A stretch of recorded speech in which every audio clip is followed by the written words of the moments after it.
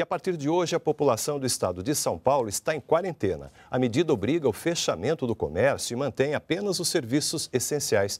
Os detalhes nós vamos saber com Priscila Kersh, que está em São Paulo. Isolamento total agora, Priscila, é isso? Bom dia.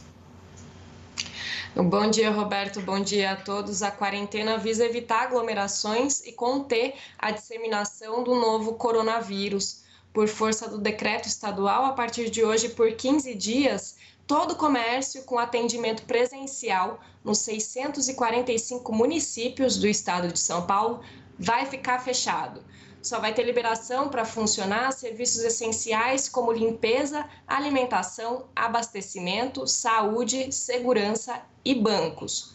Outra medida que começa a valer hoje, agora em âmbito nacional, suspende as visitas nos presídios federais a portaria do Ministério da Justiça atinge também atendimentos não urgentes de advogados, assistências religiosas, atividades educacionais e de trabalho e também a escolta não urgente de presos custodiados. Prevê também que sejam tomadas medidas de isolamento para presos com mais de 60 anos ou com doenças crônicas durante as movimentações internas. Voltamos ao estúdio. Tá ótimo, Priscila. Muito obrigado pelas informações.